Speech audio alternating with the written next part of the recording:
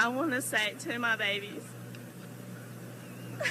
that your mama loves you so much, and your daddy, this whole family's love you so much. And you guys have got to be strong because you are.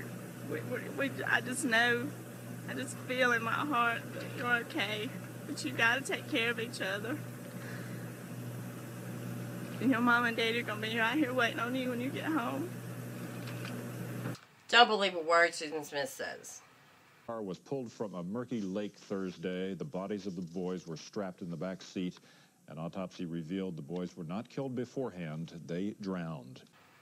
Welcome back to the channel. If you're new here, welcome. Today we are going to be covering the case of Susan Smith, the murdering mommy who killed her two little babies, drowning them in Lake John D. Long in 1994. And let me tell you, this is one of the most disturbing cases of all time. Well, it's one of the top ones. I actually had two babies the same age as Susan Smith, and the whole world was just riveted by this story. And then it ends this way. Let's get right into the story, okay, guys? Susan had a turbulent childhood, to say the least. When she was six years old, her father committed suicide, and Susan seemed to never really regain a healthy mental state. When she was 13 herself, she attempted suicide and was treated for major depression. Things just seemed to get worse for Susan when her mom married a local church member and a leader in the church, Beverly Russell, who was a big church leader in the community. Um, he proceeds to molest Susan from the time that she was 13 years old all the way up until three months before the murders. They, they were having a sexual relationship all the way up. Her stepfather, Beverly Russell, admitted fully in court that he uh, was molesting her and that uh, he caused her a lot of damage. Finally, in March of 1991, she meets and marries David Smith. They proceed to have two children, Michael in October of 1991 and Alexander in August of 1993. David works as a manager at a grocery store and Susan works as a secretary at a manufacturing plant. Where in this job she begins a romantic sexual affair with her boss, the owner's son, who is also married with children. This is becoming a really big thing with Susan, if you don't notice. From all reports, Susan's and David's marriage was not a good one. A lot of adultery, a lot of splitting up, getting back together, which it's very known now that yes, there was a lot of adultery. She was sleeping with her stepfather and she was also having the affair with her boss. Finally, in the summer of 1994, they call it quits. No more, they're not getting back together. They're actually going to divorce. They're trying to keep it a low-key divorce, but you know how that goes sometimes, and it doesn't stay low-key. Five days before the murder, a huge argument ensues between David and Susan. Uh, where at some point David gets into Susan's purse and finds a love letter from Tom Findlay, the man that she is having the affair with at her job. At this point, David threatens to expose the affair to Tom Findlay's wife and to the town, and it's getting really ugly. Susan does not take this well at all. This seems to have started her spiral uh, out of control. This is five days before. Also, the same day that this occurred, she confided in a friend who testified later that she had said, I wonder what life would be like without these children. So she was already, seemed to be contemplating her life without children. This is getting to the sad part. On October 25th, the day of the tragedy, Susan Smith took her kids to daycare that morning. She works that day. but she is not having a good day. Tom has broken off their relationship and she has been in a fit for a few days now. Things are really going wrong. She's not in a good state of mind. She goes, gets off work at 3.30 and goes and picks up the babies from daycare. it's reported then she goes to a bar. She doesn't go in the bar, but she sees some friends outside the bar, and she's very distraught and basically just completely consumed with this Tom guy. And all she can think about and all she can talk about, reportedly by her friends, are that he, she's obsessed with this Tom guy. And around 7.30 or 8 at night, she's so wound up and upset, she says that she needs to go for a drive and clear her mind. We go with this driving. She straps her little babies in the car seats. She states that she went to Walmart and did a little bit of shopping and then leaves Walmart and heads off to her friend's house. Uh, but she never makes it. At some point between Walmart and going to her friend's house, she's at a stoplight and a black man jumps in her car and puts a gun to her side and tells her to drive or he will kill her. So she, of course, obliges. She runs off, drives, drives, drives. And they drive about 10 minutes down the road, and he tells her to stop right in front of the lake area, John D. Long Lake. So she, and tells her to get out. He's taking her car. According to Susan, he drives away in the car, and she then is left out in the middle of the lake area and she runs to a home and they call 911. The police, the FBI, and everybody get involved. They get dogs, they get helicopters, they get the sheriff, the uh, FBI, the uh, SLED, the South. Uh, I mean, everybody is involved in this, and they are frantically looking for this babies. Susan gets on TV, she's crying. David states that when he goes to Susan this night, she is hysterical. She's on the floor. She he can't even control her. He's got to pick her up. She's just out of control emotionally. Susan describes this man as a that hijacked her car and stole her kids as a black male between 30 and 40 years old, six foot tall, 175 pounds, which apparently is half of this community. It's a third of the whole county. It's basically this is this is a very vague uh, description of this guy. It's basically any black guy in the county, pretty much, you know. And most news sources don't even, especially the local ones, don't even post this description of this man for some reason. Two days into it, they give Susan a lie detector test. And she proceeds to fail it miserably. When the FBI um, asks harder question towards her, she gets very irate and very defensive and does not want to cooperate with them at that point. Uh, they continue to search and search and search. Well, this is the day two, three. They are they are not feeling it. They're really the things they're getting from her. They're not getting. So after doing a few little bit of investigation, they go to Walmart. She did not go to Walmart. They get in contact with the friend. The friend says she wasn't even home that night. Then to top it off, the cherry on top, they the FBI does a drives the same route that she went, and come to find out at that time of night, the light does not even switch. It's basically a blinking light. She would not even have to have stopped at it. Got in a car at the exact same time of day that she said it happened, and we decided to drive the route to see what it was like. What we realized really quickly is that that light doesn't turn red at that time of the night because there's so little traffic. I went to Sheriff Wells, I remember this, and I said, that light blinked. So they are proving her wrong constantly. They get Susan back in to talk to her, and she changes her story. She flips. So then at this point, they're like, okay, something is really wrong. The police report that she's more concerned with what she looks like on TV.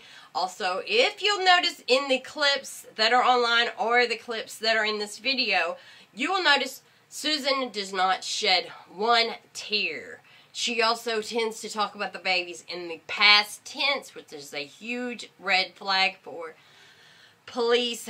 But one of the things that really bothered us, even in 1994, this is even in 1994, was that she never cried. You literally never. She would get on there and uh, and never cry. She would just be trying so hard, and you never would see her cry. So this is huge too, by the way. This is a huge, huge story. It's all over the news every night. This is 1994. This is before everybody had news constantly, but it was on the news a lot. Finally, on the ninth day, these babies are gone. Nobody's found them. They really have a bad feeling. They're like, okay, this is not right. I think she's cracking. They all, her and David go on the morning shows and do interviews. And in these interviews, you can fully see a change in her appearance, in her demeanor, and you could just really see a difference in Susan. hurts to know that um, that I would be accused or even thought that I would ever do anything to harm my children. As a mother, it's only a natural instinct to protect your children from any harm. And the hardest part of this whole ordeal is not knowing if your children are getting what That they night, need. Day nine, after all the media blitz, Susan is in the church where she's been spending a lot of time while the boys are missing. And she is with police where they have been interviewing her very nicely. She proceeds to break down to the sheriff of Union and writes a full confession. In this confession, she states she was planning on killing herself and her children and that she drove down the lake to the edge, then got out, pulled the emergency brake, and watched her babies drowned. Really, really, really sad. When the sheriff made the announcement that they had arrested Susan immediately and were charging her with two counts of first degree murder, Susan Smith has been arrested and will be charged with two counts of murder in connection with the deaths of her children, Michael, three, and Alexander, 14 months. The vehicle, a 1990 Mazda, driven by Smith, was located late Thursday afternoon in Lake John D. Long near Union.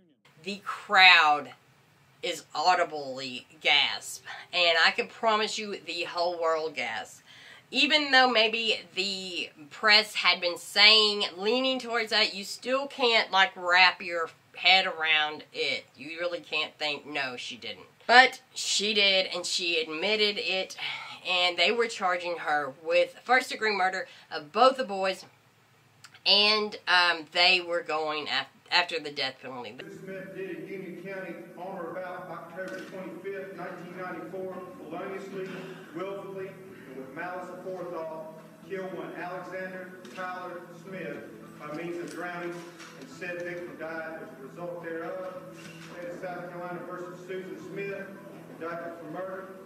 That indictment was alleged Susan Smith did in Union County on or about October 25, 1994, feloniously, willfully, and with malice aforethought, killed one Michael Daniel Smith by means of drowning, said victim died as a result thereof. The family, the grandparents, uh, on the dad's side, and David um, were very, very, very, very intent on wanting the uh, death penalty. They were not happy with Susan. They really hated Susan, and they expected her fully to get the death penalty. As the trial begins for Susan, the next few months, people come and testify about these affairs, about the sexual abuse, about her mental health.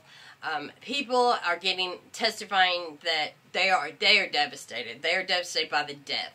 Also, Susan is constantly asking for the death penalty, saying she wants to die. She's on suicide watch. At one point in the trial, the prosecution played a tape of the an exact car of Susan rolling down a hill going into the lake and there was cameras in the car mounted on the dashboard basically showing you the view that Michael and Alex had while they were being drowned and it is one of the worst things you can watch. relevant now on the issue of just what could have been done to save the children and how long um, was the time frame in which something could have been done. that was kind of emotional for me. I didn't didn't realize it would take a car that long to sink. Was it five minutes, 52 seconds, something like that? And they took all the sound away. What made it even more eerie, they took all the sound away in the courtroom. You just sitting there watching that car float out in the water. And every time I see it, I hold my breath. I just think, oh my gosh, these babies are in there and they can't breathe. They can't, that's it. They're gone. And she's standing on the beach. You know these kids were screaming for her. Mommy, help me. Mommy, can you imagine? And her standing there and letting it happen. But look, and and they were trying to also say, hey, she had time to rescue him. I don't highly, I don't think she could have rescued him. I mean, if she could, she might have been able to rescue one, if that. But yeah, the trial's pretty much open and shut. She's found guilty. Go to the penalty phase, and it's whether she gets life or she gets death. Uh, once all the facts were in and people testified for and against her and all that stuff, she basically she ended up with life sentence with parole.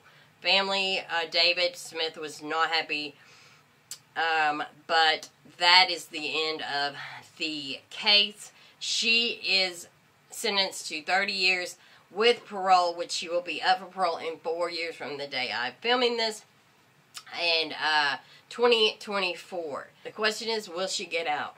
One of the main things you need in uh, getting parole is admitting guilt, which she's 100% already done that. She'll be in her 50s when she does get out. Now, will David and his family fight her being released? I don't know. The last interview that David Smith did, he uh, was had moved on, he'd gotten married, had two kids, but he's still extremely traumatized by this.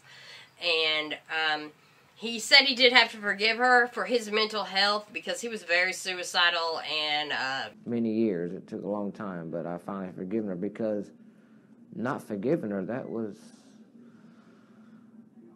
That was eating up. You know, did not want to go on living either, but he had to forgive her. But does that mean he's going to allow her to walk around or is he going to go fight for her to stay in prison? Susan also has been caught two times, not one time, two times, having sex with correctional officers. She's been reprimanded for that. They were fired.